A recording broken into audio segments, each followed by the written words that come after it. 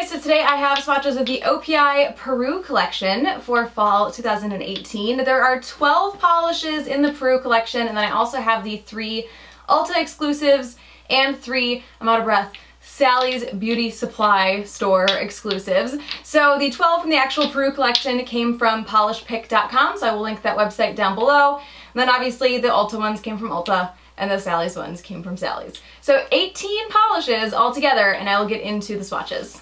So the first polish is called Machu Peach-U and this is described as just a soft peach. So this one is actually really opaque on the first coat. Looking at this polish in the bottle, I was expecting it to be way more sheer than it is. It does still have some streaks and some lighter spots. It's definitely not a one coater, but I was really pleasantly surprised with the opacity. And a really good formula on this one as well. So this one does cover completely in two coats. That first coat did dry a little bit more sheer than it applied.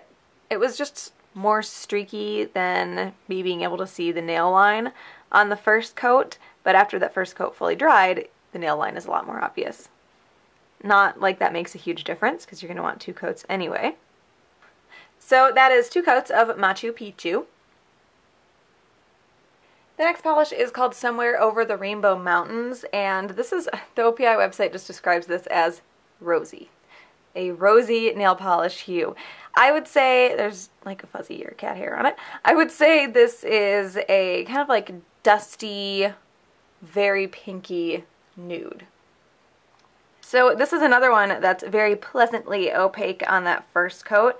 Even though I feel like nowadays when you get colors like this, they perform pretty well almost no matter the brand unless they're like intentionally very sheer. But it's almost like I've been scarred and I just expect them to disappoint me whenever I see lighter nudie pink shades like this. Formula on this one is really good as well. So this one does cover completely in two coats. I do feel like it dries just a little bit darker than it applies and it really wasn't too bad on that first coat. Still definitely a two coater but I just barely had a little bit of nail line and most nails were pretty even too.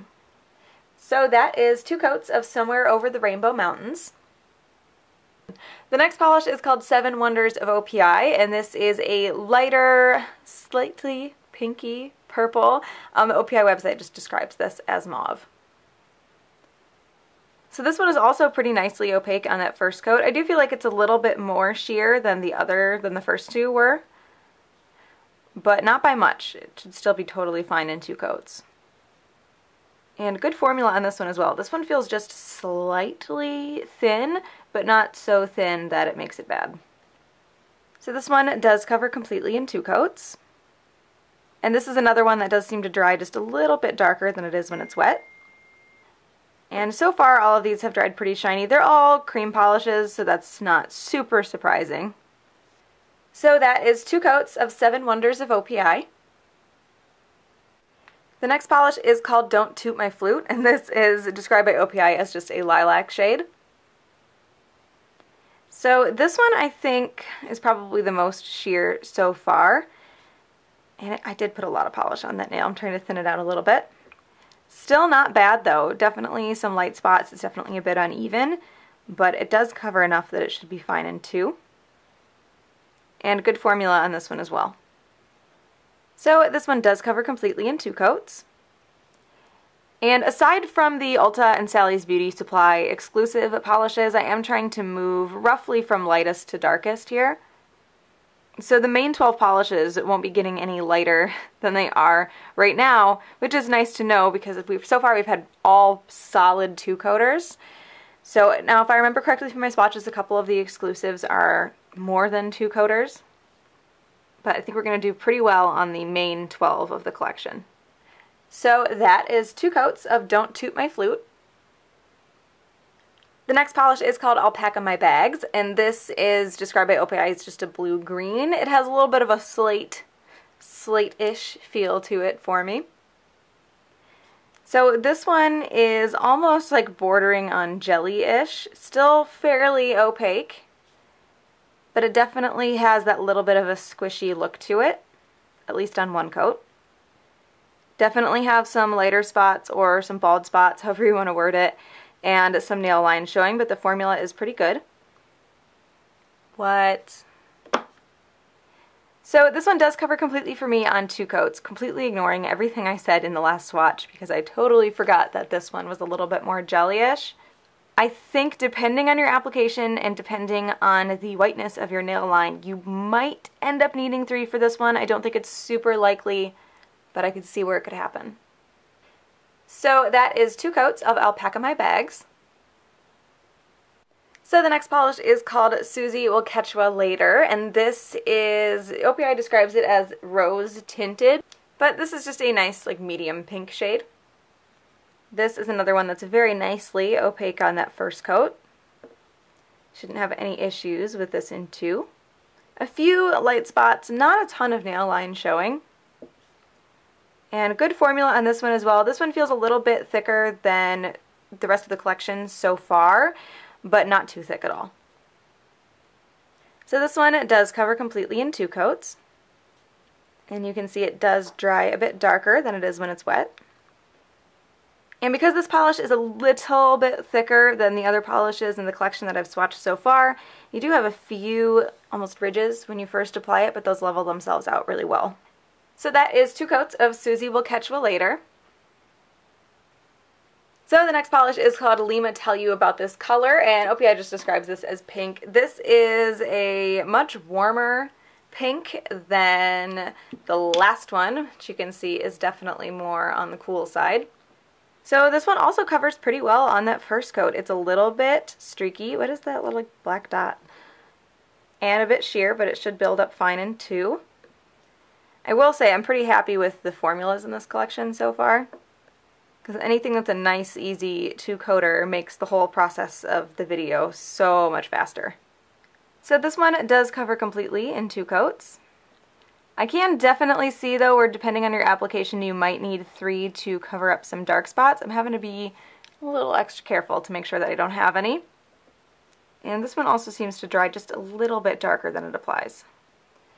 Oh, and I should probably mention, what I'm doing to try to avoid those dark spots is I'm doing like the least amount of brushing possible and I'm making sure that I'm just floating my brush over the top of the polish, like over the top of the nail a little bit more than I would in a normal polish. I'm not pushing hard and I'm trying to touch the brush to the nail the least amount possible.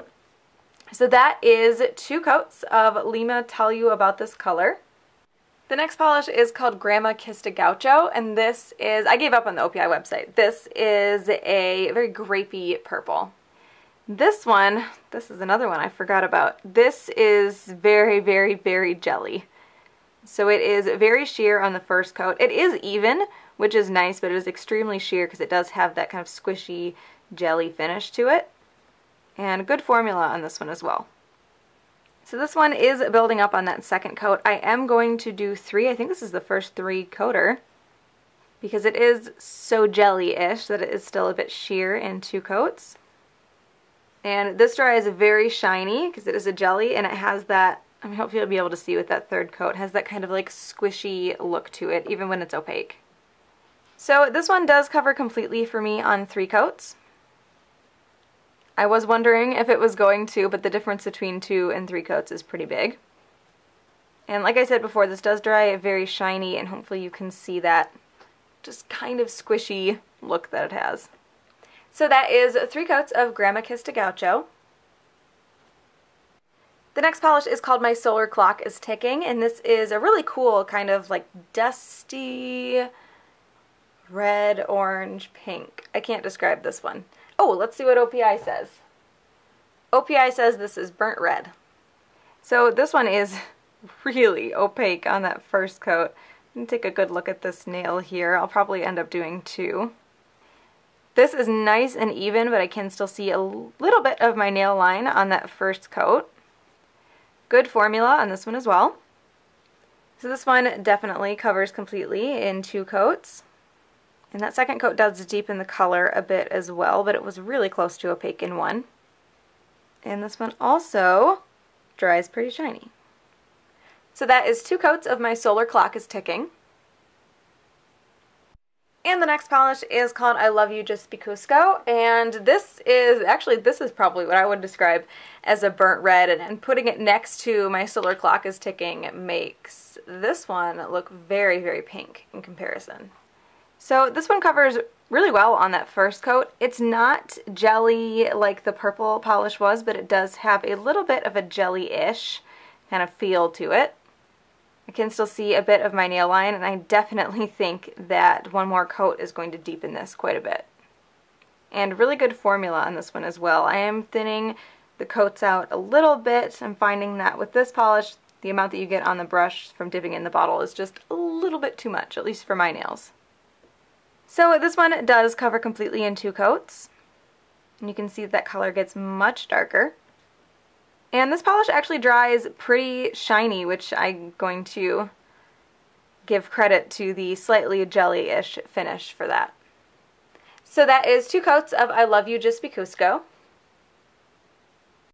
The next polish is called Como Se Llama, and this is another one of those, like, kind of slightly rusty, orangish, burnt red shades. This one is just a lot darker than the last one. So this one is a little bit sheer on that first coat. Another one that has a slightly jelly-ish quality to it, but not so much that it's going to stand out once it's opaque. But a second coat is definitely going to deepen that color. Good formula on this one as well. I go extra slow with reds and dark colors because I am so paranoid about getting it on my skin and then having red cuticles for the rest of the video. So this one does cover completely in two coats. You can see that, second coat makes the color quite deeper. Quite deeper? I don't think that's how that works. Much more, much, much deeper. Don't want to say more deeper. Okay, and this also dries pretty shiny. Quite a bit deeper. Got it. So that is two coats of Como Se Llama. So the next polish in the last of the 12 piece Peru collection before we get into the exclusives is called Yes My Condor Can Do and this is a really dark like reddy purple. So this one is pretty opaque on that first coat. It is a bit streaky and these kind of colors have me so paranoid because I have to do lighter colors after this for the exclusives and I don't want everything to look stained. Good formula on this one as well. So this one does cover completely in two coats. You can see it gets much, much deeper. This is a very, very dark color, but I don't think it's so dark that it would be confused for black. So that is two coats of Yes My Condor Can Do. Now these next three polishes are exclusive to Sally's Beauty Supply. They are, I've not been into a store, but they are on the website. They are in a separate, like a separate section of the website, like a separate listing with just these three colors. I'm actually, I was looking at it earlier and actually didn't see the Peru collection on there at all. I just saw these three. So the first Sally's Beauty Supply exclusive is Take a Hike on the Inca Trail, and this is a very light peachy nude. So this one is a bit sheer on that first coat. It's not terrible for being a light color, but it is a bit sheer. It's a bit streaky when you first apply it as well, but a good number of those streaks do kind of level themselves out pretty quickly. The formula on this one is pretty good. It feels a little bit thin, but not, ah, I wouldn't say it's too thin just yet. So this one is building up on that second coat. I'm going to take a good look at it after I get this on here. I can still see a bit of my nail line and I do have a few streaks, so I'm going to do a third coat. And this one does dry pretty shiny as well. So this one does cover completely in three coats. I just had a few, well now that the, actually that the second coat is dry, they were a bit more obvious. But I had a few streaks that I wanted to cover up on that second coat, but I think depending on your application you might be able to get away with two. So that is three coats of Take a Hike on the Inca Trail. The next polish is called You Crossed the Nazca Line, and this is a dustier pink shade. And this one is also pretty nicely opaque, just a little bit sheer, but it should build up just fine in two coats. And a really good formula on this one as well. So this one does cover completely in two coats. And it is another one that seems to dry just a little bit darker. Why do I keep doing that? I never lift the brush far enough off, and it's always my middle finger too. Never lift the brush far enough off my middle nail to not like jam it into the end of my nail when I come back. And this one also dries pretty shiny. So that is two coats of You Crossed the Nazca Line. And the last polish for the Sally's Beauty Supply exclusives is called Spice of Peruvian Life. And this is a actually pretty bright pinky coral shade. So this one is a bit sheer on that first coat. Not terrible though. I can see my nail line. And I do have a few streaks. The formula on this one is just a little bit thin for me. Again, not terrible. I wouldn't call it bad. But I do feel like if you do too thick of a coat, it's going to run and kind of gather on the sides of the nail. So this one does cover completely in two coats. It's hard to tell on camera because it is such a bright color. I can see, or depending on your application, you might need three for this one to cover up some dark spots because I am like really pushing the need for a third coat right now. And this definitely dries darker than it applies. So that is two coats of Spice of Peruvian Life. So the next three polishes are all exclusive to Ulta Beauty stores and um, online. I actually got mine online. They were in the listing with the regular Peru collection, so I had to kind of cross-check the names to see which ones were part of the normal collection and which ones were not recognizable. However, on the Ulta website right now, they only have nine uh, Peru polishes in stock, and those look like they're about 50. Oh, it's a sale right now. That's why they're 50% off. There's only nine in stock right now, and none of them are the exclusives. So the first polish here is called I Archaeologically Dig You, and this is another peachy nude shade. Uh, here it is next to Take a Hike on the Inca Trail, the Sally's Beauty exclusive, so you can see they are pretty close. And then furthering that, here it is next to Machu Peach-U. Lots of peach going on. So while this one is really similar to the Sally's Beauty Supply exclusive shade, this one is considerably more opaque. seems to cover a lot more evenly and a good formula on this one as well. So this one does cover completely in two coats. And this is another one that seems to dry just a little bit darker than it applies. And while the shades aren't identical, I do think the formula on this one is much better than the comparable Sally's Beauty exclusive shade. So that is two coats of I Archaeologically Dig You. So the next polish and also an Ulta Beauty exclusive is called Andean Culture Club and this is a kind of like taupey gray. Like it looked really gray to me the first time I looked at it and now I'm looking at it and it's definitely leaning more taupe. So either I'm crazy or it's a little bit of a shapeshifter. So this one is just a little tiny bit streaky on that first coat but it does cover pretty evenly. You can see my nail line through it a bit as well. Good formula on this one. And now on my nails, it looks like even more taupe than it did before. So this one does cover completely in two coats. I do feel like it dries just slightly darker than it applies. And it's not like the shiniest polish ever once it's dry, but it's pretty good. Now that nail right there, actually, I'm going to try to fix this. I had a much thinner coat on that one than any of the other ones, and I had a few yeah, bald spots there. It's like dragging, dragging the polish off of the nail if I go over it one too many times. So a little bit of trouble with that one. So that is two coats, maybe two and a half over here, of Andean Culture Club. And the last of the Ulta exclusives and the last of these 18 polishes is called Ayahuasca Made Me Do It, and this is a kind of like sage green.